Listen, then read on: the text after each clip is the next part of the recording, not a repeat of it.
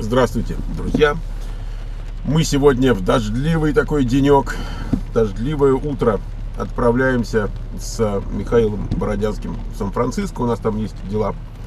И я так еду, чтобы его подхватить, и вам отчитываюсь, так сказать, за отчетный период. Дело в том, что может сложиться ощущение, что вас позабыли, позабросили на нашем канале, там последние 3-4 дня там только одно какое-нибудь маленькое видео, там на минутку, на другую, все это на ходу.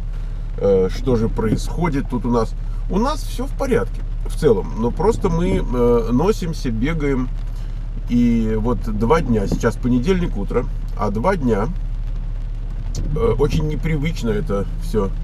И, значит, в субботу и в воскресенье, представляете, такие дни. Значит, мы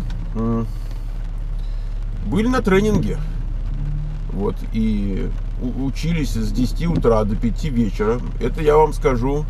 В общем, нагрузка неплохая. Так, какая-то действительно пробка, что ли, там? Непонятно. Нам-то вообще здесь направо. Ну, давайте попробуем как-нибудь отвалить отсюда.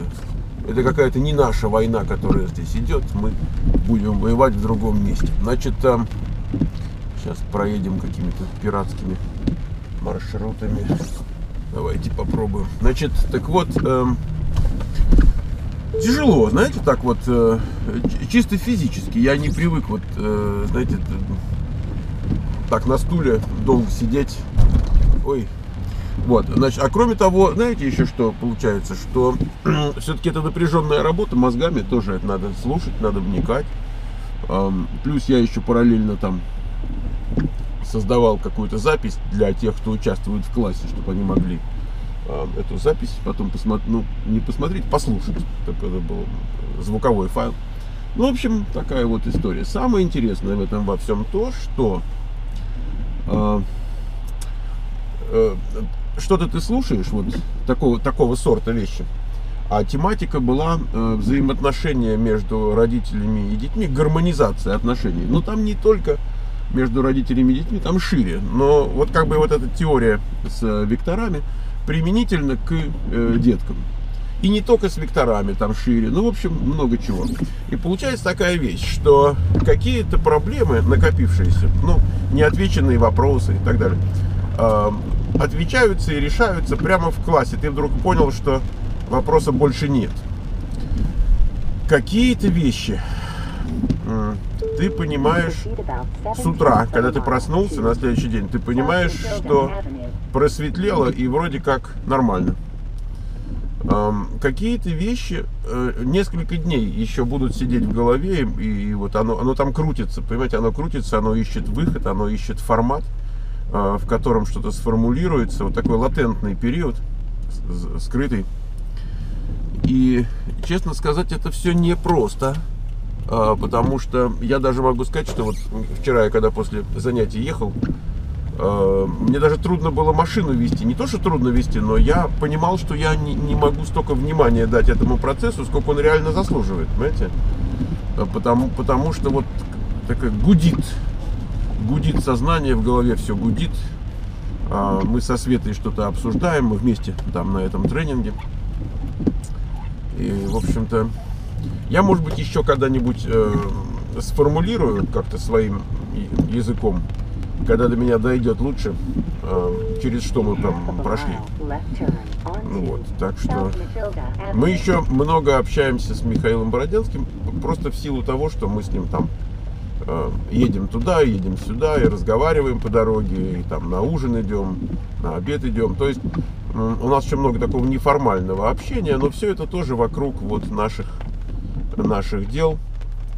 И мы уже начали разбираться немножко с анализом тестов, эм, которые там есть э, у Михаила, применительно к нашим студентам и к нашим задачам, но мы только в самом начале этого пути. У нас еще есть время. Так что вот э, такая, такая история. То, что у нас мало сюжетов, это реально от того, что я ничего не снимал практически. Ну, выходные что снимешь? Э, только если гулять куда-нибудь пошел, а мы не ходили гулять.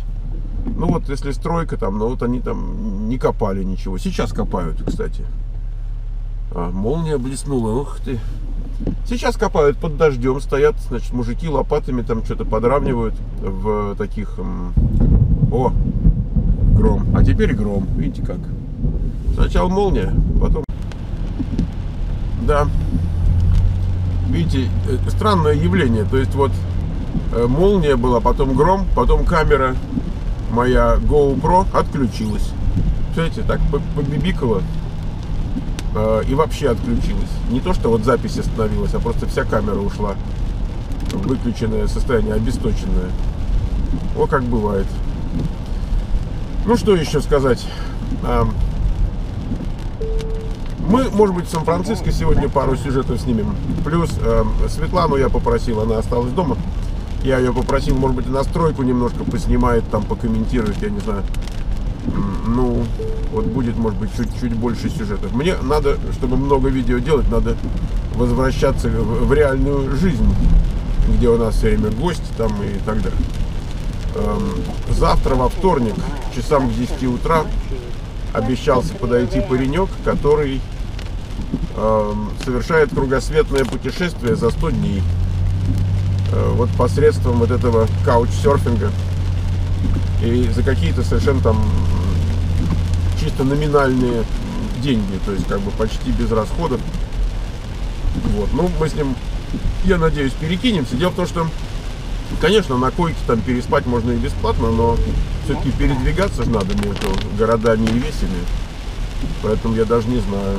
Ну, то есть, конечно, есть такие вещи, как автостоп, но а потом покушать надо. Ну, ну, не знаю, ну, в общем, я думаю, что он что-то интересное в этом смысле расскажет. Наверное, и парень тоже интересный. Так что я, я просто надеюсь, что завтра буду в офисе с утра. Потому что у меня аппоинтмент к врачу к 9. А потом я, я думаю, что день в 10, 10, 15 я все-таки до офиса доберусь. Но четких планов, вот таких, э, когда я знаю, что у меня сегодня, завтра, послезавтра, в какое время и так далее, у меня лично нет. Это Светлана там как-то значит, мудрит с этим делом. Ну, планирую. Вот, а я как бы беру под козырек и говорю, есть. Вот, и, пожалуйста, всегда на, на подъеме. Мы на подъем легкие. Ну вот, наверное, вот, наверное, и все. Я на самом деле хочу сказать, что мне трудно с мыслями собраться. То есть я серьезно, у меня в голове так много там крутится вот э, всякого такого, что я даже не знаю, что это там крутится но чувствую, что крутится. Что мало пространства осталось для того, чтобы просто потрендить, как я обычно там легко трендю. Вот. Можно сказать, меня вывело это из, из э, моего обычного такого состояния равновесия, трендящего. Вот. Поэтому, ну, ну посмотрим. Понятно, что это не навсегда. Простуд моя прошла. Э, наверное, дня 4. Что-то я так даже сам не знаю чего вдруг? Э, ну, ну, бывает. И на старуху бывает проруха, да? Так что мы здесь делаем же прививки каждый год. Э, осенью. Сейчас опять сверкнуло. Сейчас, ну-ка, наверное, гром будет и опять камеру отключат. Ну, смотрим. Так вот, эм, мы делаем прививки осенью. И, собственно, и потом и не болеешь.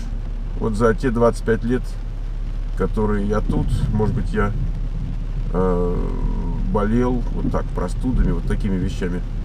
Может быть, не больше, чем, допустим, в Москве когда-то за год. Там каждую зиму там 2-3 раза минимум. Вот. А здесь как-то, не знаю, хорошие прививки они составляют, набор этих, там, у них там внутри. И вот, вот очень удачно работает, очень, очень надежно. Хотя не каждый год. Я помню, был год, когда что-то совсем они как-то плохо намудрили или, скажем так, реальная жизнь разошлась с их планом, и так как-то народ э, болел больше обычного. Так что вот возвращаемся к нормальной жизни, но не сразу. Во всяком случае, э, не кашлять, не хлюпать носом, и чтобы глаза не слезились. Ребята, это такое счастье. Это может понять только тот, кто недавно хлюпал носом, кашлял и у него слезились глаза, и вообще он не имел товарного вида, можно так сказать. Вот я товарного вида не имел. Сейчас его приобретаю обратно. Ну, наверное, все. Тут я должен сосредоточиться на том, чтобы доехать до того комплекса, где живет э, Михаил, он тут рядом. Счастливо, ребят, до связи.